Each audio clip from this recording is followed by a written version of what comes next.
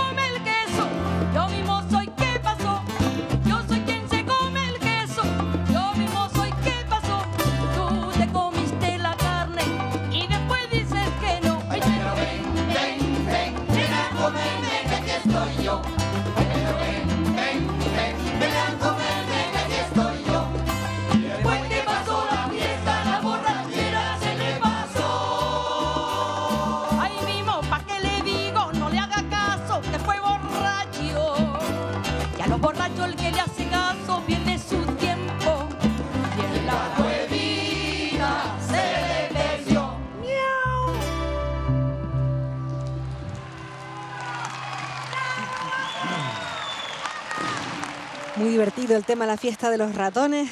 Ampliado, hemos escuchado muchas eh, voces diferentes después de esa presentación Oye mi conga y ahora vamos a por ese segundo tema.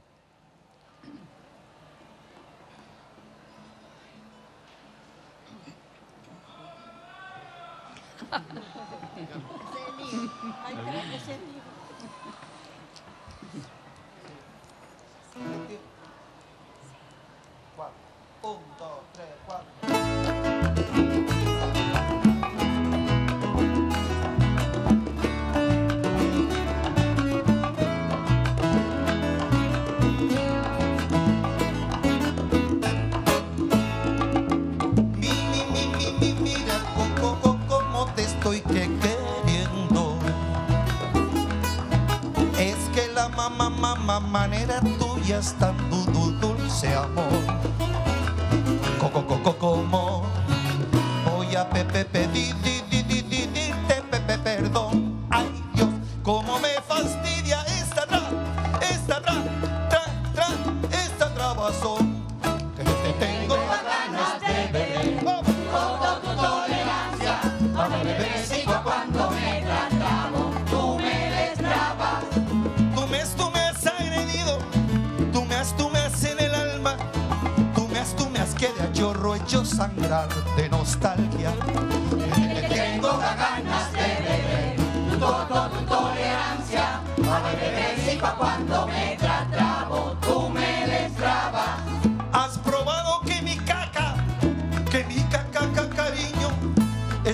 coco, dulce, dulce coco, como un niño.